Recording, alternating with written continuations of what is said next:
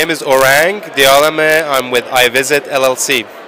And we, what we're going to show you here is a mobile to desktop video conferencing application we've created called iVisit Teleport.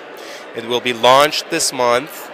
And what it enables you to do is essentially to communicate using presence, instant messaging, uh, push to talk, as well as multi-party video conferencing between mobile devices as well as desktops.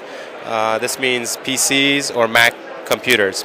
My partner Tim uh, was the person who created um, the first internet video conferencing application called uh, CU-SeeMe in the 90s. So we've already had a lot of users enjoy our applications uh, on the desktop and now we're excited to show you what we have on the mobile devices.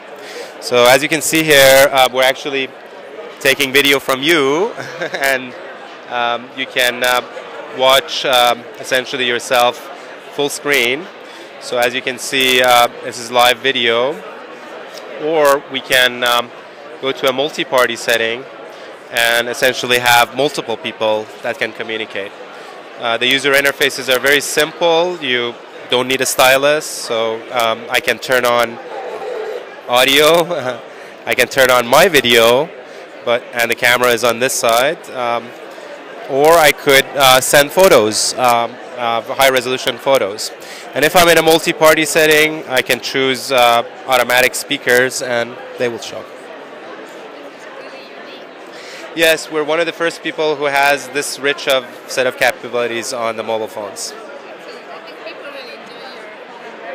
We certainly hope so. One of our applications is actually for blind uh, users. We have a National Eye Institute project where uh, visually impaired users uh, use this as a way of getting remote assistance. So a visually impaired user, if they get off the wrong bus stop or if they need assistance with shopping, they take their phone and they connect to a family or the support person and that allows them to hear guidance and find their way home or to you know, uh, find the items they need.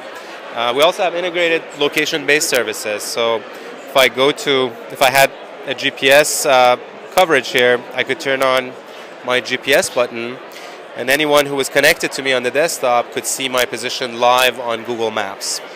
And all of this will be available uh, at the end of this month.